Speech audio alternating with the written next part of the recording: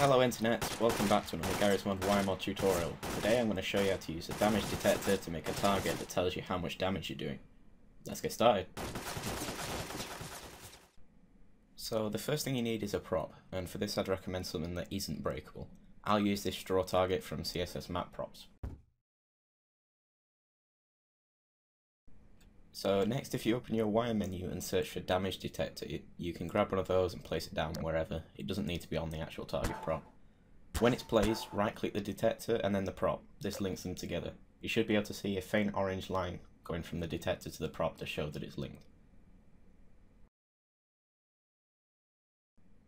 Uh, next, set up a constant value of 1 and place that down near your detector.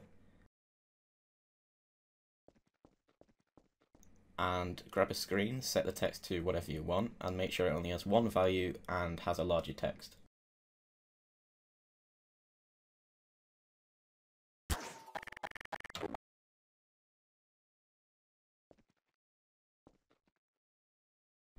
Now grab Wire Advanced and wire the A from the screen to the damage output from the detector. Then wire the on value from the detector to the 1 on the constant value. This means the detector is always on and ready to go. If you shoot the target, you should see your damage being displayed, but it also displays decimals, which can go off the screen. So let's fix that. If you go into Gates tool and grab a round gate, and wire it to the screen and the detector.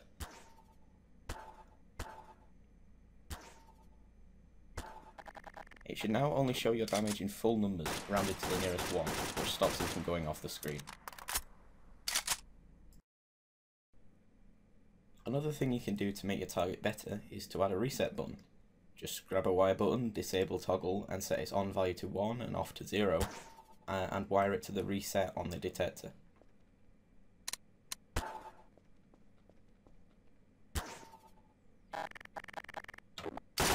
When it's pressed, it should reset your screen to zero.